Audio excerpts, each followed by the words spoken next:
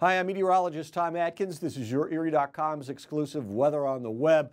We're looking at the inland forecast. Those of you south of 90, like Edinboro, Titusville, Meadville, and Franklin.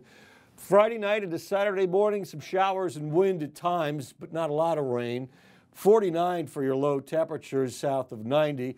And then the forecast for Saturday, again, some showers at times, but not a lot of rain, mainly in the morning, 57 to 61.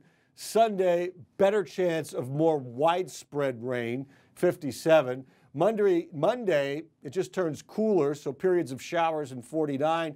Tuesday, still very chilly, a high only of 48. Could be colder than that, could have a few wet snowflakes mixed in.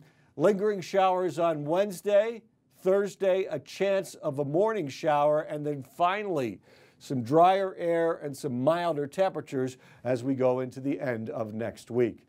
That is YourErie.com's exclusive weather on the web. Jacob Matthews has your forecast this weekend.